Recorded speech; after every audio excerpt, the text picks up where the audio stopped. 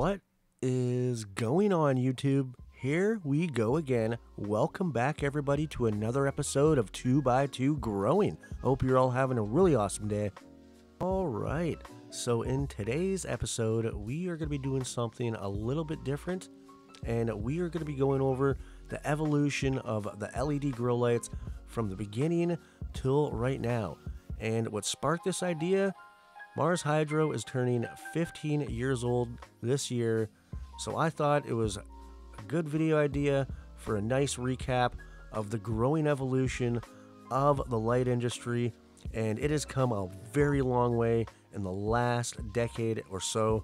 The amount of advancements that's happened in the last 10 to 15 years has been pretty epic compared to the last 40 to 50 years of growing, all consisted around a huge, really hot light bulb that if you were growing in the winter, you were going to be given away instantaneously with the only roof that has no snow on it in the whole neighborhood.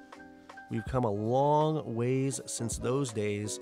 Now we have these really high tech LEDs that run at a way lower temperature, won't give you away if you're up to anything no good, and will produce some really amazing quality nuggets for you. For all of you new growers out here that have just started in the last year or two, you might be shocked by some of the information and some of the lights that I'm about to show you that have actually been the stepping stones to where your lights are at this current state. All right, let's get into it. But before I do that, happy birthday to Mars Hydro. Happy 15th. Let's go back to the very beginning of the LED grow light process evolution here. And we have at the very beginning the good old Burple lights. Yes, Burple. And if you didn't wear green glasses when you looked inside of the grow tent, you would have some green vision for the next 30 minutes or so. It was quite the step in the process, but it is what it is and you kind of learn from experience after your first time not wearing glasses. Anyway, we went on to the next evolution of grow lights and pretty much just downsized the wattage. We went from 5 and 10 watt diodes down to 1 watt diodes. And then after that, we take what I'm going to have to personally say is the weirdest sidestep in the LED grow light evolution process. And those lights all of a sudden, all of them that were coming out were called cob lights. Yes, cob. And it was just one big LED in the middle. It ran really, really warm. And pretty much after the first wave of them, you never seen them ever again. Now we're moving on to what is my favorite part of this whole growing evolution, and that was the quantum board LED grow lights. And that included my favorite light, the TS1000 from Mars Hydro. I was in love with that light for the longest time.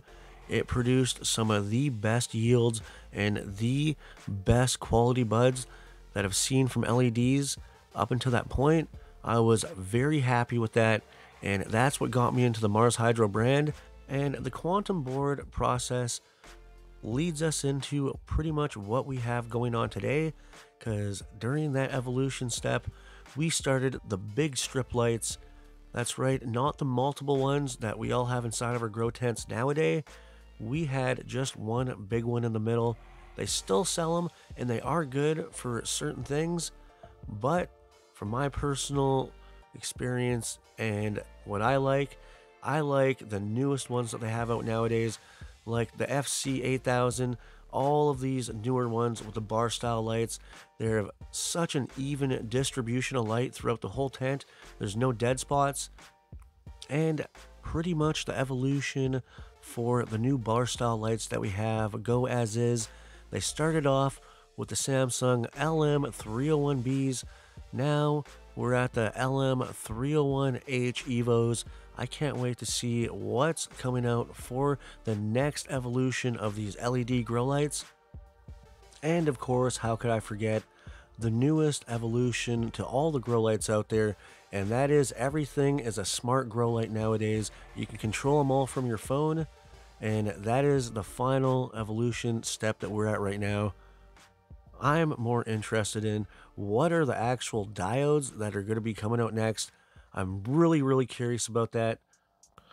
Anyway, I'm going to be wrapping this episode up right about now. So please go down there and smash that like button. Take her easy, everyone. I will see you next time.